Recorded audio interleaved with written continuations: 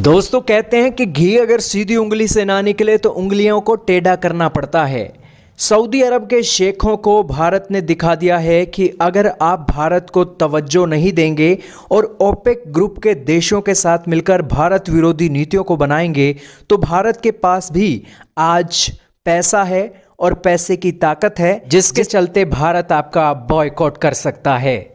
ये बातें आज बहुत क्लियर हो गई हैं कि भारत ने सऊदी अरब को फैटे पर फैटा मारा है और इसी फैटे के कारण सऊदी अरब लाइन पर आ गया है। इसमें किसी को भी शक नहीं है कि सऊदी अरब के पास तेल है। लेकिन सऊदी अरब के शेखों को भी ये बात अपने दिमाग में रखनी चाहिए कि भारत के पास भी पैसा है।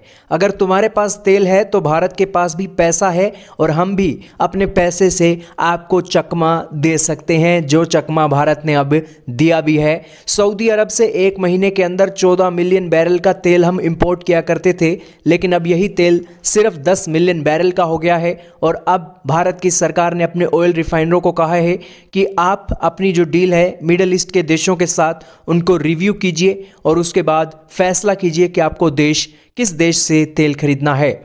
आज पूरी दुनिया में सऊदी अरब जैसे देश तेल नहीं बेचते हैं अफ्रीका जैसे देश तेल बेचते हैं, अमेरिका जैसे देश तेल बेचते हैं, नॉर्थ अमेरिका जैसे देश तेल बेचते हैं, कजाकिस्तान जो सेंट्रल एशिया है, वहाँ पर तेल बिकता है, अजरबैजान तेल देता है, रशिया तेल देता है। तो दुनिया में तेल देने वाले देशों की कमी नहीं है, और जो सऊदी अरब आज दुनिया में नंबर वन जाना जाता है तो वो इसलिए जाना जाता है क्योंकि भारत के साथ उसके रिश्ते अच्छे हैं और भारत उसका साथ देता आया है।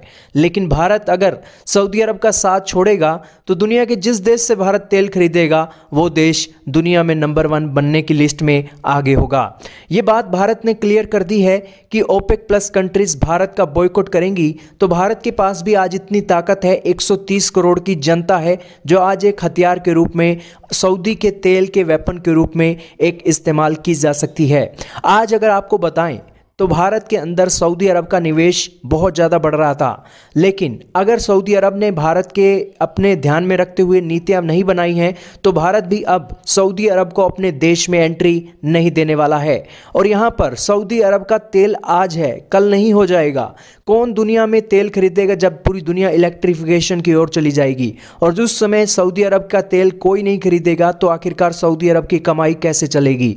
इसी के चलते सऊदी अरब भारत को एक सिक्योर मार्केट देख रहा है, क्योंकि चाइना जैसा खतरा सऊदी अरब की कंपनियों में एक देखा नहीं जाता है। भारत के अंदर जो कंपनियाँ हैं, चीन के अंदर तो बॉयकॉट की मुहिम शुरू होती है तो दुनिया की कोई भी कंपनी हो, उसका बॉयकॉट हो जाता है। लेकिन भारत के अंदर डेमोक्रेसी है, और इसी के चलते 130 करोड़ की जनता है, जो आने वाले समय में दुनिया की सबसे ज़्यादा जनसंख्या वाला देश बने जा रहा है। और इतनी बड़ी आबादी के लिए अगर सऊदी अरब यहाँ पर अपना पैसा निवेश करता है तो उसके पैसे की बहुत सी एक कीमतें बढ़ने वाली हैं और बहुत ज़्यादा उसे एक जो रेवेन्यू है रेवेन्यू जनरेट होने वाला है। लेकिन अगर आप भारत को इग्नोर करते हैं तो आपका जो निवेशमेंट निवेश करने का जो एक लक्ष्य है, वो निवेश करने का लक्ष्य भारत कभी भी पूरा नहीं होने देगा।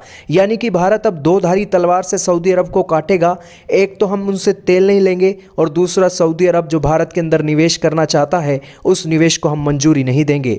रिलायंस के अंदर बीस फ़ीसदी स्टेक खरीदने की बातें सऊदी अरामको की कंपनी करके बैठी है, लेकिन भारत सरकार अगर चाहे तो सऊदी अरब को दो मिनटों में अपनी जेब में डालकर उसकी जो हेकड़ी है सारी निकाल सकती है। सऊदी अरब को भी पता है, आज उनके पास तेल है। तीस या बीस सालों के अंदर सऊदी अरब के पास तेल नहीं होगा और ना ही दुनिया को तेल की ज़रूरत होगी। उस कड़ी में सऊदी अरब के पास पैसा कहाँ से आएगा यह सबसे बड़ी चिंता का विषय सऊदी अरब के लिए है। क्या कहना चाहेंगे? कमेंट सेक्शन में राय का इजहार कीजिए।